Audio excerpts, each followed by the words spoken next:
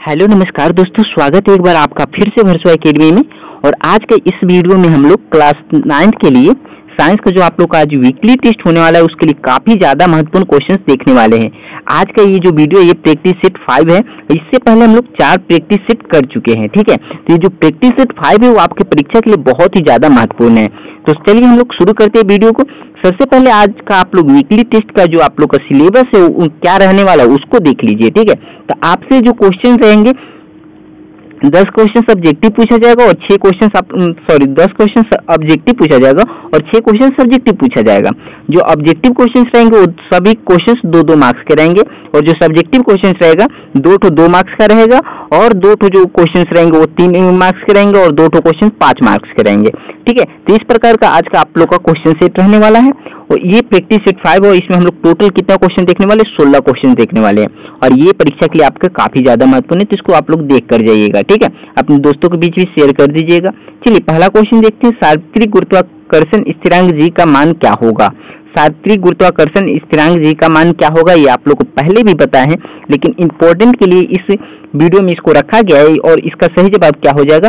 छह दशमलव छह सात into ten to the power minus eleven newton metre square पर के जी स्क्वायर देखिए, आप ये जो न्यूटन मीटर स्क्वायर पर के जी स्क्वायर है, इसको हम लोग इस प्रकार से भी लिखते हैं और या इस प्रकार से भी लिखते हैं K G minus two minus two minus घात माइनस में कब चला जाता है, आप लोग को पता है न्यूटन मीटर स्क्वायर है। मान लीजिए, ठीक है, पर के जी मतलब नीचे में के जी स्क्वायर है। ओके तो ये जब के जी स्क्वायर को ऊपर लेकर आते हैं तो इसका घात में क्या हो जाएगा? माइनस में बदल जाता है, ठीक है? आगे बढ़ते हैं, अगला क्वेश्चन देखिएगा, दो नंबर क्वेश्चन है, किसी वस्तु का द्रव्यमान, किसी वस्तु का चंद्रमा पर भार पृथ्वी पर इसके भार का होता है। किसी वस्तु का चंद्रमा पर भार पृथ्वी पर इसके भार का क्या होता है? पृथ्वी पर इसके भार का क्या होता है? वन बाई छह गुना होता है। आप लोग को बताए थे, ऑप्शन सी आपका बिल्कुल सही जवाब हो जाएगा, ठीक है? आगे बढ़ते हैं आगे क्वेश्चन देखिएगा तीन नंबर क्वेश्चन है दाब का ऐसा ही मात्रक पास्कल होता है। जो निम्न के बराबर, दाब का ऐसा मात्रक पास्कल किसके बराबर होता है? कि किलोग्राम मीटर पर स्क्वायर न्यूटन मीटर पर न्यूटन मीटर स्क्वायर या न्यूटन मीटर पर न्यूटन मीटर पर स्क्वायर या न्यूटन स्क्वायर मीटर कौन सा ऑप्शन सही हो जाएगा? तो न्यूटन मीटर पर स्क्वायर ठीक है? न्यूटन मीटर पर स्क्वायर ये इसका सही जवाब हो जाएगा, ठीक है? ऑप्शन सी आपका बिल्कुल सही जवाब हो जाएगा। आगे बढ़ते हैं।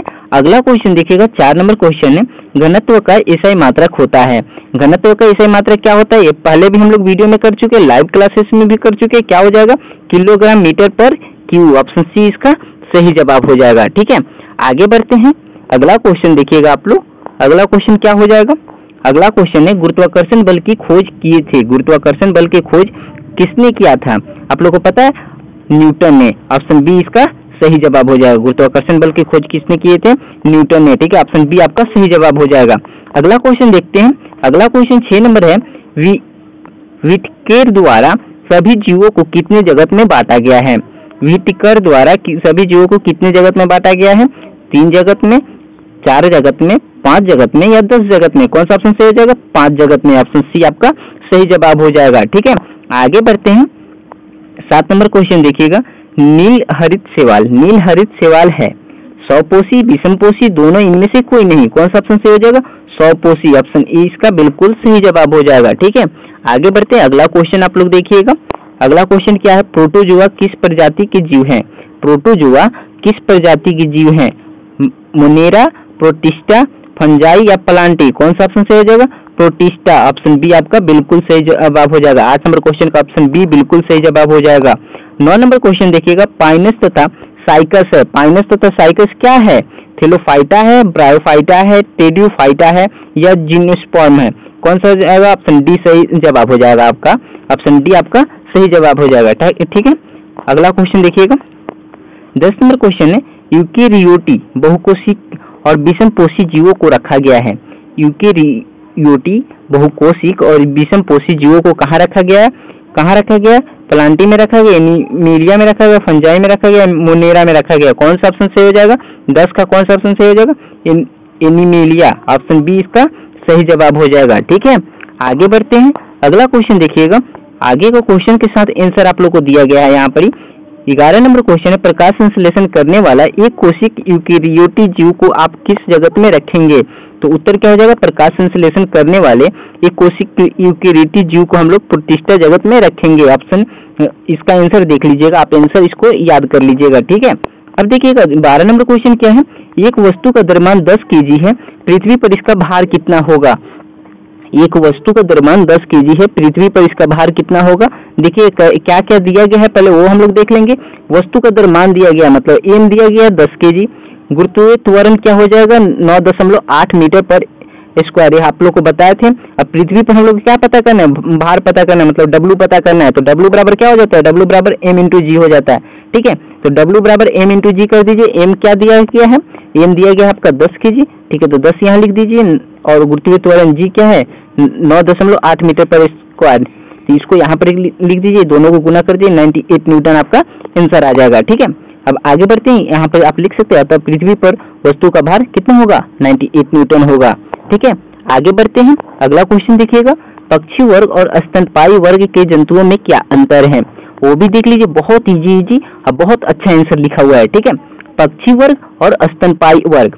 देखिए, पक्षी वर्ग का शरीर पंखों से ढका होता है स्तनपाई वर्ग का शरीर पर बाल युक्त त्वचा पाया जाता है। ठीक है? पहला डिफरेंस हो जाएगा मतलब पहला अंतर हो जाएगा। दूसरा अंतर क्या होगा? इनके इनका आगे का दो पैर पंखों से परिवर्तित हो जाता है और इनमें दुग्ध ग्रंथि नहीं पाया जाता है। और दूसरा इसमें क्या हो जाता है? इनमें नवजात के पोषण के लिए दुग्ध ग्रंथि पाई जाती है। ठीक है? अब तीसरा क्वेश्चन तीसरा देखिएगा। पक्षी, वर्ग, जंतु अंडे देते हैं। स्तनपाई वर्ग, जंतु अपने जैसे शिशु का जन्म देते हैं। ठीक है?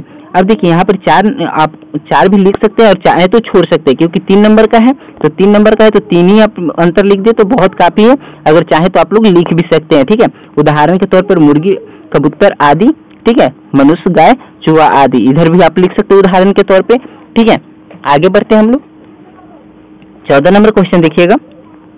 उत्प्लावकता से आप क्या समझते हैं? तो जब किसी वस्तु को किसी द्रव में डुबोया जाता है तो द्रव उस वस्तु पर ऊपर की ओर एक बल लगाता है, जिसे उत्पलावन बल हम लोग कहते हैं। ये इसका आंसर हो जाएगा, इसको आप लोग नोट कर सकते हैं, ठीक है? आगे बढ़ते हैं। आगे क्वेश्चन देखिएगा, पंद्रह नंबर क्वेश्चन पादप जगत के प्रमुख वर्ग कौन कौन है? तो पादप जगत के प्रमुख वर्ग कौन कौन हो जाएगा? थेलेफाइट, ब्रायोफाइट टेडियोफाइट जीनोस्पर्म और एनजियोस्पर्म ठीक है? ऑप्शन ये आप सब पाँचों याद कर लीजिएगा यही पाँच जो है। क्या है? पादप जगत के प्रमुख वर्ग हैं ठीक है? आगे बढ़ते हैं हम लोग। आगे देखिए गुरुत्वाकर्षण का शास्त्रीय नियम क्या है? तो गुरुत्वाकर्षण बल वस्तुओं के दरमान के गुणनफल के अनुक्रमानुपाती होता है तथा उनके बीच के दूरी के वर्ग का व्युत्क्रमानुपाती होता है। जिन दो वस्तुओं के बीच यह बल लग, लगता है इसे ही गुरुत्वाकर्षण के शास्त्रीय नियम कहते हैं, ठीक है, ये आपका उत्तर हो जाएगा। इस सभी उत्तर को आप लोग देख सकते हैं। ध्यान पूर्वक देखिए, ये सभी बहुत छोटा छोटा और बहुत इजी आंसर है। इसको आप लोग याद कर सकते हैं। इसमें सभी क्वेश्चन का सही जवाब दिया गया है। तो आप इसको नोट कर सकते हैं। अपने दोस्तों को भी शेयर कर दीजिएगा। वीडियो को लाइक कर दीजिएगा। और आप लोग बहुत सपोर्ट कर रहे हैं, उसके लिए बहुत बहुत धन्यवाद। अपना परीक्षा जाइए। बेस्ट ऑफ़ लक आप लोग को। आप अपना एग्ज़ाम दीजिए। बहुत अच्छे आएँगे, ठीक है। और साथ में आप लोग को दोस्तों को बीच ये वीडियो को शेयर कर देना है और वीडियो को लाइक करना है ताकि हम लोग भी मतलब उत्साहित रहें और वीडियो बनाकर आप के लिए लाए। थैंक यू धन्यवाद. जय हिंद. जय भारत.